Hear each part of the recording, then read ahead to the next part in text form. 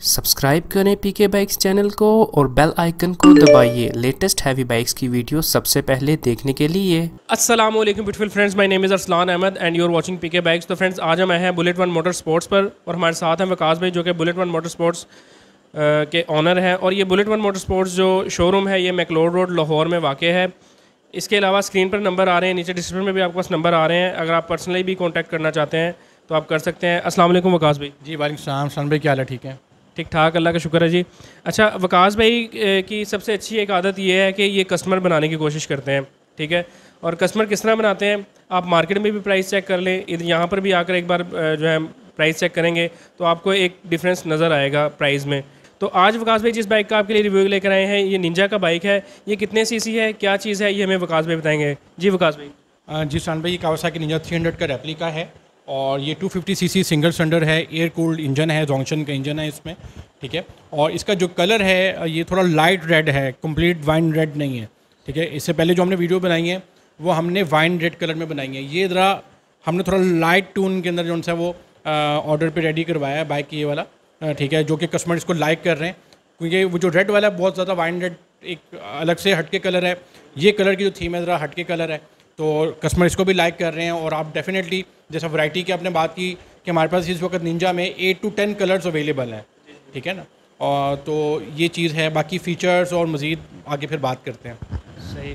अच्छा वकास भाई, सबसे पहले ये बताएँ कि पार्ट्स को लेकर आप कितना फ़िक्रमंद होते हैं? क्योंकि अगर कोई कस्टमर बाइक लेने आता है तो सबसे पहला क्वेश्चन उसका यही होता होगा आपसे कि पार्ट्स अवेलेबल हैं या नहीं? तो आपका क्या क्राइटेरिया और पार्ट्स के हवाले से आप क्या फ़ीडबैक देते हैं अपने कस्टमर को? जी अलहमदिल्ला शाम पार्ट्स इन स्टॉक अलहमदिल्ला अवेलेबल हैं। मेरे पास इस फ्लोर पे जहाँ पे आप बना रहे हैं, यहाँ पे भी पार्ट्स पड़े हुए हैं। फ़र्स्ट फ्लोर के ऊपर भी पार्ट्स पड़े हुए हैं, जैसे कि आप अभी वीडियो में दिखाएँगे। और जो भी हमारी शिपमेंट होती है, जो भी हम बाइक्स इंपोर्ट कर रहे होते हैं, वो हर ऑर्डर के साथ हमारे पार्ट्स आ रहे होते हैं। ऐसा नहीं होता कि सिर्फ़ हम बाइक्स मंगवा रहे हैं पार्ट्स की तरफ़ हमारा कंसर्न नहीं है, ऐसी बिल्कुल भी बात नहीं है। अलहमदिल्ला जितने भी इसके टूटने वाले पार्ट्स होते हैं, वो हम मंगवाते हैं। लीवर्स हो गए ब्रेक हो गई बॉडी पार्ट्स हो गया इंजन पार्ट्स हो गए ईच एंड एवरीथिंग हम उसकी पूरी मंगवाने की कोशिश करते हैं और इन स्टॉक अलहमदिल्ला हमारे पास स्टॉक में अवेलेबल है, वो आपको अभी चेक भी करवाते हैं हम।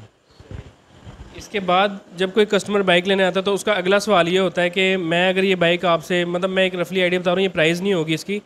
मैं आपसे चार लाख का या पाँच लाख का कोई बाइक परचेज़ कर रहा हूँ तो मैं महीने बाद अगर मैं अपग्रेड करना चाहता हूँ तो मेरे साथ क्या मतलब लाहेमल होगा आपका?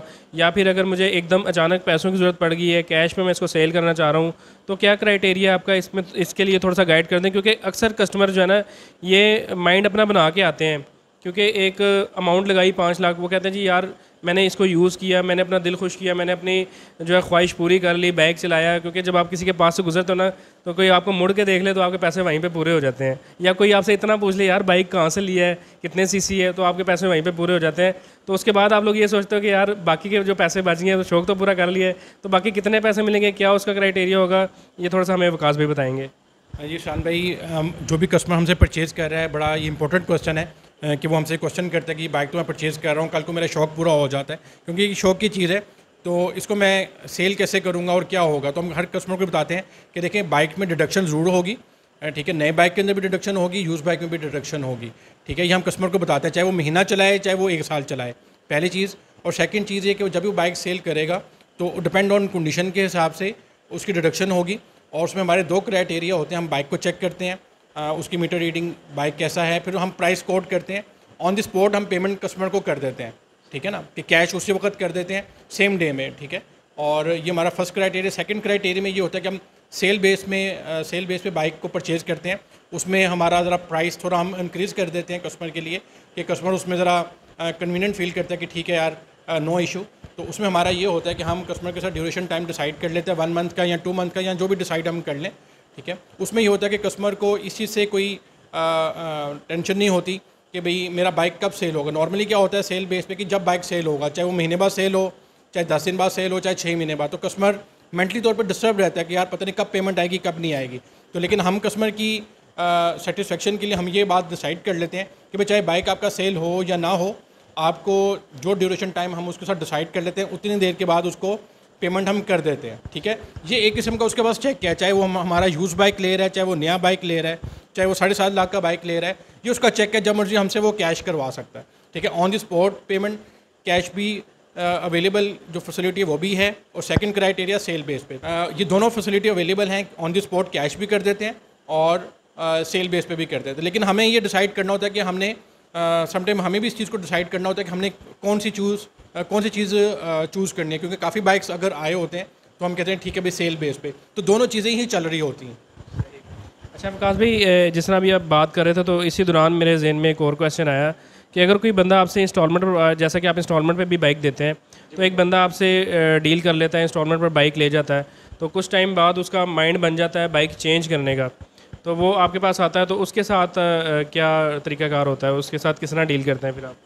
एक्चुअली नहीं, देखिए इस्तान भाई, जो इंस्टॉलमेंट पे बाइक है उसका ज़रा क्राइटेरिया डिफरेंट है। देखिए, उसको इंस्टॉलमेंट्स पहले क्योंकि बिल्कुल बाइक की पेमेंट उसको क्लियर करनी होगी। उसके अपने जो अकाउंट है, उसको क्लियर करना होगा। देन वो सेल करेगा। फिर वो मतलब कि एक्सचेंज की पॉसिबिलिटी है। ऐसा नहीं है कि वो लीजिंग प्लान पे वो बाइक उसने एक ली है और विद इन मंथ वो कहे कि जी, मैंने ये सेल करना है। और सेकंड लेना है तो ये ज़रा डिफ़िकल्ट है। आ, इस पर भी क्योंकि अभी खड़े खड़े आपके क्वेश्चन आया तो खड़े खड़े मैंने भी इसका जवाब दे दिया लेकिन इसका भी कोई मज़ीद आगे जाके रास्ता निकालेंगे। लेकिन ये कि नॉर्मली लीज़ पे बाइक लेने से मैं कस्टमर को यही सजेस्ट करता हूँ कि वो लीज़ पे ना लें एक एक्स्ट्रा कॉस्ट पड़ती है ठीक है? जो चार लाख तीस हज़ार का बाइक है वो अगर आप इंस्टॉलमेंट पे लेते हैं वो आपको पाँच लाख का बाइक पड़ता है twenty five thousand per month instalment है। तो एवरी मंथ ये करना ज़रा कस्टमर के लिए डिफ़िकल्ट होता है। ठीक है? और पाँच लाख का बाइक पड़ता है वही बाइक आप मेरे से यूज़ का ले लेंगे। वो आपको three thirty forty fifty three sixty का एक अच्छा बाइक मिल जाएगा। अच्छा विकास भाई एक और चीज़ बताएँ कि आप चाहे इंस्टॉलमेंट में बाइक सेल कर रहे हैं या फिर आप कैश पे सेल कर रहे हैं वारंटी कितनी देते हैं आप इस बाइक की? जी सान भाई जो जितने भी नए बाइक्स हैं उसकी हम वारंटी थ्री मंथ की वारंटी दे रहे हैं और जो यूज़ बाइक है उसकी वन मंथ की वारंटी दे रहे हैं। और आफ्टर वारंटी कंप्लीट होने के बाद भी कस्टमर का कोई भी इशू कोई प्रॉब्लम आता है उसको हम रिजॉल्व करते हैं। ऐसा नहीं है कि वो रिजॉल्व नहीं करते। कि जी ये तो थ्री मंथ्स गुजर गए अब आप जहाँ पे मर्ज़ी किसी और को चेक करवाएँ तो ऐसा कोई इशू नहीं है। बल्कि लोगों के बाइक मेरे पास आ रहे होते हैं कि भाई, यार, ये प्रॉब्लम आ गया तो आप इसको सॉल्व कर दें, ठीक है? तो ऐसा भी होता है। तो चाहे वो दो साल पुराना बाइक हो, चाहे तीन साल पुराना बाइक हो, जो भी उसका प्रॉब्लम होगा, उसका रिजॉल्व किया जाएगा, ठीक है? और सेकेंडली जो भी उसके चार्जेज़ होंगे, उसको पे करने होंगे, ठीक है? और इसके अलावा ये कि मकैनिक अवेलेबल है tuning service each and everything available है। अच्छा प्रकाश भाई, अब ये बताएँ, बस लास्ट में भी प्राइस की बात भी करेंगे हम। उससे पहले थोड़े से स्पेक्स की बात कर लेते हैं कि इसके टैंक में कितना पेट्रोल आता है, क्या ये फ्यूल एवरेज देता है और मीटर वगैरह, ये चीज़ें सारी हमें थोड़ी सी गाइड करें। जी साल में ये राउंड 15 लीटर का इसका टैंक है और ये 250 सीसी सिंगल सिलेंडर है और इसकी पेट्रोल एवरेज 25 टू 30 है। डिजिटल मीटर है फ्रंट एलईडी लाइट्स हैं और फ्रंट डबल डिस्प्ले है बैक सिंगल डिस्प्ले है। फ्रंट टायर साइज़ की अगर बात कर लें वन टेन सेवेंटी सेवनटीन इसका फ्रंट टायर साइज़ है। और बैक टायर साइज़ की बात कर लें तो वन फिफ्टी सेवेंटी सेवनटीन इसका टायर साइज़ है। इसमें जो वेरियंट्स हैं, तीन वेरियंट्स हैं two fifty C C single cylinder जिसकी price four lakh thirty thousand है। सेकेंड वेरिएंट हमारा इसके अंदर three hundred C C water cooled के अंदर, ठीक है, जिसमें उसकी परफॉर्मेंस बहुत इंक्रीज़ कर जाती है।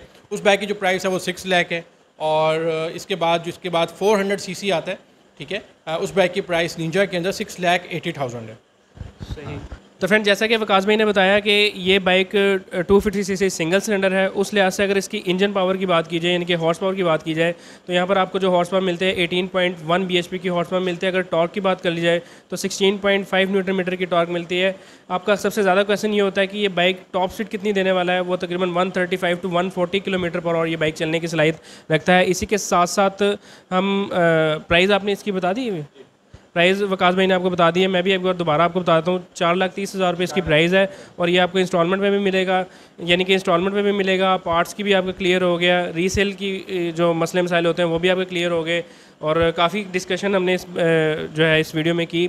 मैं उम्मीद करता हूँ कि आपके सारे क्वेश्चंस यहाँ पर क्लियर हो गए होंगे। अगर फिर भी आपको कोई क्वेश्चन है तो नीचे आप कमेंट्स कर सकते हैं। स्क्रीन पर नंबर आ रहा है डिस्क्रिप्शन में भी नंबर आ रहा है। तो आप पर्सनली कॉल करके या व्हाट्सएप पर कॉन्टैक्ट करके भी मज़ीद डिटेल ले सकते हैं। तो बस लास्ट में आपका होस्ट असलान अहमद और वकास भी आपसे इजाज़त चाहेंगे इस दुआ के साथ कि अल्लाह आपको हमेशा खुश रखे। मुझे अपनी दुआ में याद रखिएगा। वकास भाई को भी अपनी दुआ में याद रखिएगा। अपना बहुत बहुत ख्याल रखिएगा। अल्लाह हाफिज़। असल